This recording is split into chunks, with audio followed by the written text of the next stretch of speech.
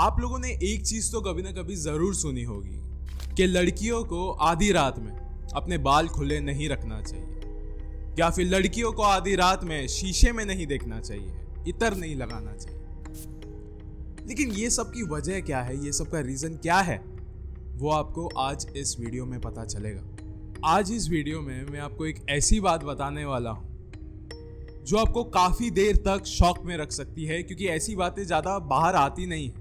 And अगर आ भी जाती है तो लोग इसे मानने के लिए रेडी नहीं होते। उनको लगता है कि ये सिर्फ़ अफवाह है, ये सिर्फ़ कहानियाँ हैं। लेकिन आज मैं आपको जो बताने वाला हूँ, वो सच है। आज की ये कहानी मुम्बरा शहर के बारे में है। मुम्बरा शहर मुंबई और ठाणे के आसपास में पड़ता है। एंड ये कहानी वहाँ के एक 19 साल की लड़की के बारे में है। वो 19 साल की लड़की ने आधी रातों में क्या क्या चीज़ें झेली है। क्या क्या चीज़ें उसके साथ हुई है, ये सारी चीज़ें सुन के आप बहुत ज़्यादा खौफ में आ सकते हो बहुत ज़्यादा डर सकते हो। तो तैयार रहिए। ये वीडियो शुरू करने से पहले ऐसे ही और हॉरर, मिस्टीरियस और हिस्टोरिकल वीडियोस देखने के लिए सब्सक्राइब कर दीजिए इस चैनल को।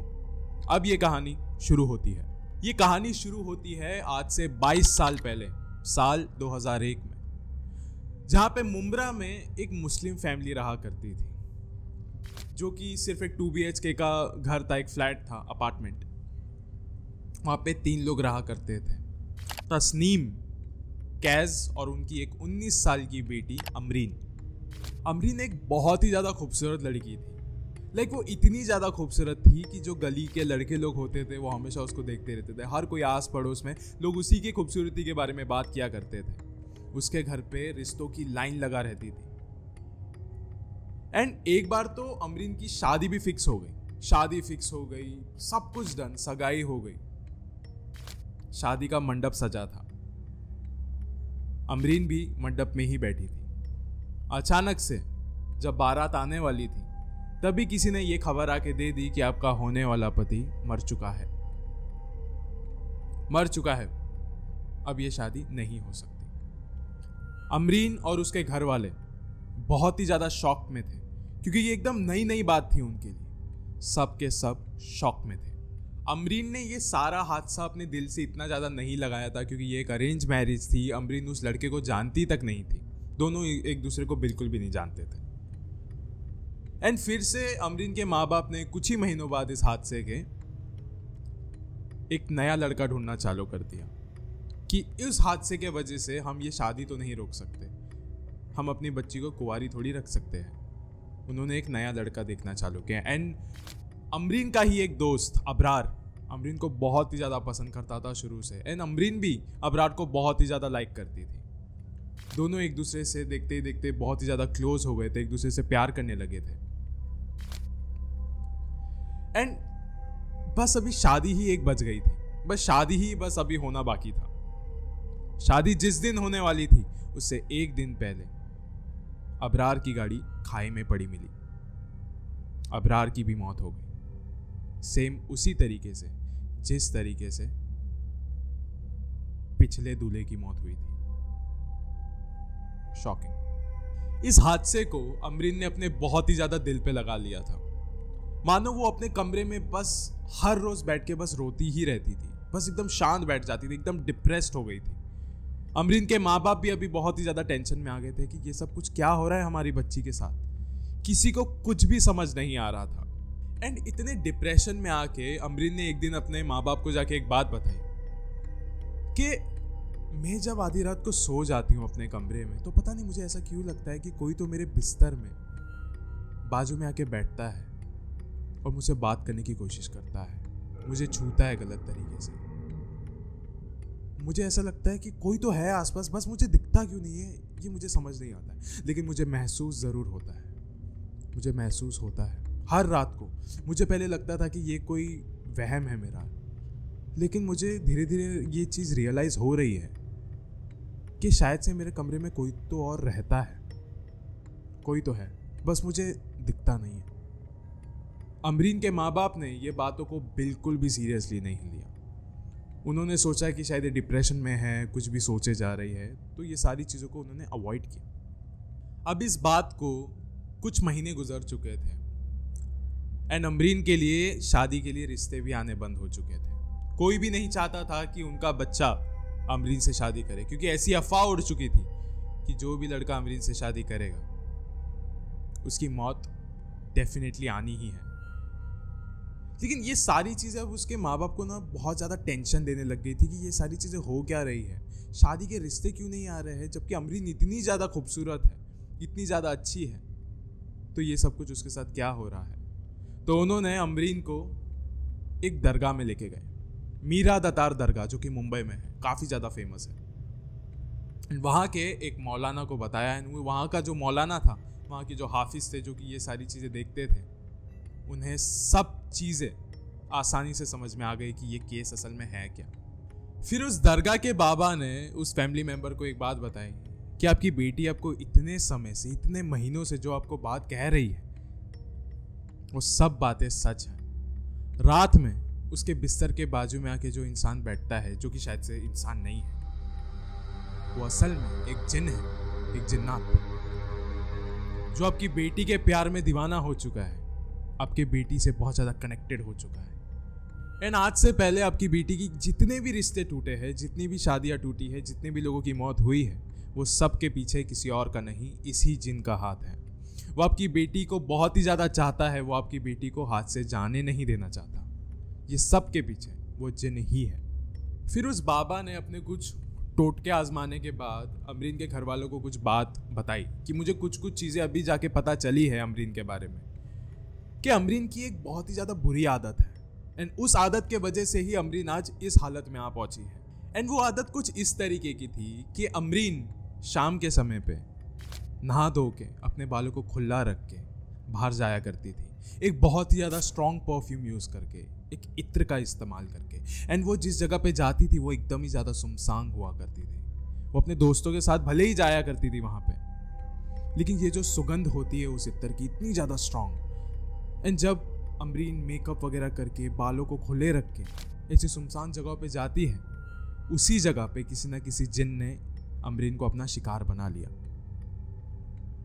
उसको अमरीन बहुत ज़्यादा पसंद आ गई उस समय। इसलिए वो अभी इतना ज़्यादा कनेक्टेड हो गया है उससे। एंड अब जब अमरीन उस जिन का शिकार बन चुकी है तो उस जिन ने भी मन ही मन में अमरीन से शादी कर ली है। मतलब मन ही मन में उस जिन्नात ने ये चीज़ मान ली है कि अभी अमरीन मेरी है।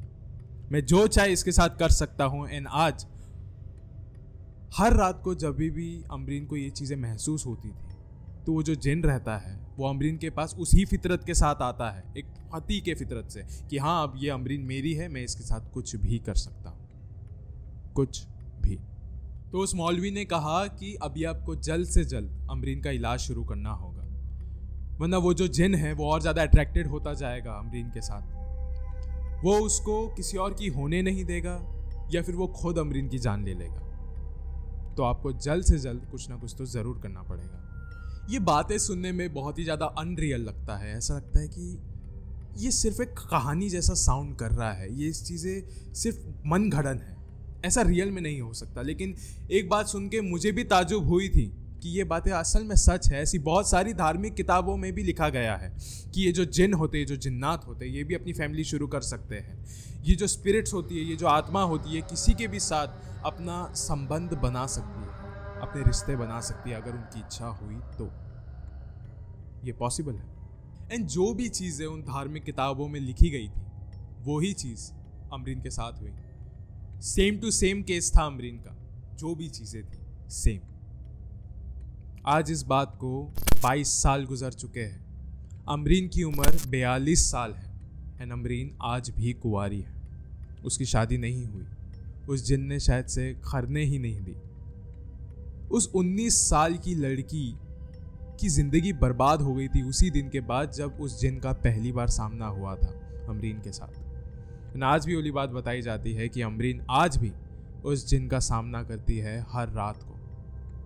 आज भी आता है वो, अमरीन के बिस्तर पे, बाजू में सिर्फ़ बैठने और उससे बात करने। क्या पता और भी बहुत सारी चीज़ें होगी जो हमें बताया नहीं गया, या फिर हमें सुनने नहीं मिली अभी तक, या फिर उस फैमिली मेंबर्स ने हमें बताना नहीं समझा। एंड ये जो कहानी है, मुझे और किसी ने नहीं, बल्कि खुद अमरीन की माँ ने सुनाई थी। बस अमरीन की तस्वीर में नहीं बता सकता, उस फैमिली की तस्वीर दिखाने की मुझे परमिशन नहीं है। वरना ऐसी बहुत सारी और भी बातें हैं जो कि मैं आपको बता सकता हूँ, लेकिन ये उस घर वालों के लिए शर्म की बात होगी।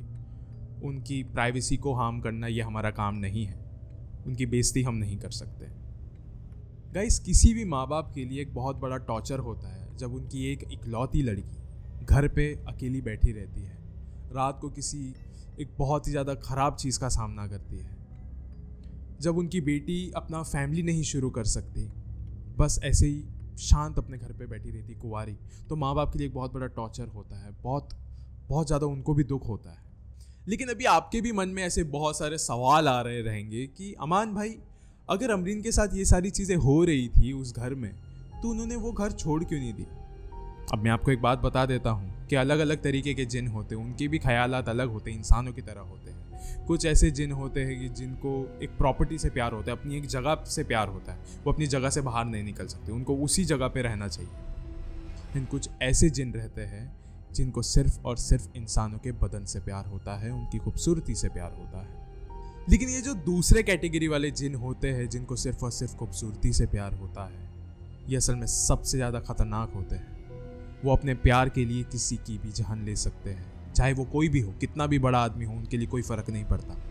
वो बहुत सेल्फिश होते हैं अपने इंसान के लिए, अपने प्यार के लिए। लेकिन हम इनसे बच भी तो नहीं सकते हैं, क्योंकि ये लोग हमें दिखते नहीं हैं, सिर्फ़ महसूस होते हैं। एंड अगर ये आपको महसूस होने लग गए तो एक चीज़ समझ जाइए कि अभी आप में और अमरीन में कोई भी फ़र्क नहीं बच चुका है। क्योंकि ये जो जिन्नात होते हैं, ये जो शैतान होते हैं, ये जो खबीस होते हैं, ये एक इंसान को तभी महसूस हो सकता है जब वो आपसे बहुत ज़्यादा करीब हो चुके होते हैं या फिर वो खुद चाहते हैं कि हाँ अब ये मुझे भी महसूस करें। अगर आप उन्हें महसूस कर सकते हो तो भी इनसे बच के निकलना बहुत ही ज़्यादा मुश्किल होता है, जैसे अमरीन का था। सो आज अंत में मैं आपसे बस इतना ही कहना चाहता हूँ कि अगर आप एक औरत हो और आप शाम को कहीं पे बाहर जा रहे हो तो एक चीज़ का ध्यान रखिए कि आपके बाल खुले नहीं होने चाहिए। आपके ऊपर कोई स्ट्रॉन्ग परफ्यूम नहीं होना चाहिए, क्योंकि ये चीज़ उन्हें बहुत अट्रैक्ट करती है। आपकी अपनी खुशबू उतनी ज़्यादा अट्रैक्टिव नहीं होती है, जितनी कि आपकी परफ्यूम की होती है। ये लोग आपको बहुत ही ज़्यादा अट्रैक्टिव समझते हैं, ये खुद आपसे कनेक्ट हो जाते हैं। ये सिर्फ़ एक इशारा ले लेते हैं आपसे कि शायद से ये इंसान भी मुझे एक इशारा दे रहा है इससे जुड़ने के लिए। एंड अगर आप किसी भीड़ जैसी इलाके में जा रहे हो तो ठीक है।